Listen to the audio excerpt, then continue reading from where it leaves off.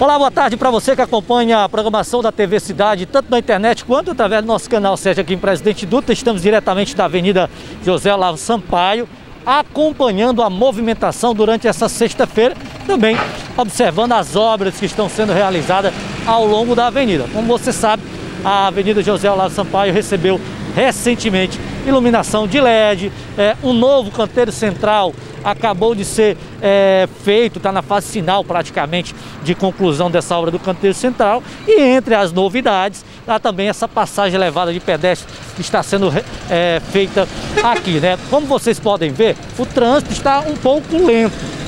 É, isso por uma boa causa. A empresa na qual está realizando serviço já fez a primeira parte da passagem elevada de pedestres e vai fazer a segunda parte. As informações que a gente teve é que pelo menos quatro dessas passagens serão instaladas aqui na Avenida José Olavo Sampaio. Né?